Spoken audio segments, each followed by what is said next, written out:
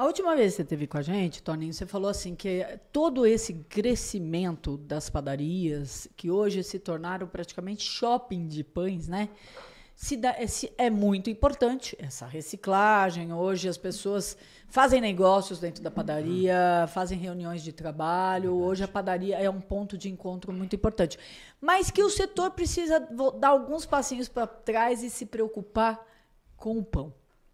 Com certeza, André, com certeza. Você bateu num, num, num algo muito, muito importante. E eu não falo só de um pão, mas dos pães.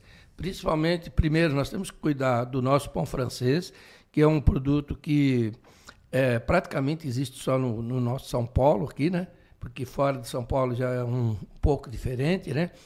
E para nós é muito importante esse produto, porque ele é tão simples e é tão gostoso que as pessoas hoje, é, o setor está relaxando um pouco, às vezes, na produção, sabe?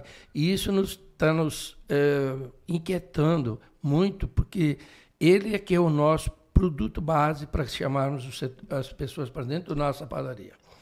Agora, nós não podemos esquecer é, dos pães mais saudáveis, vamos dizer assim, que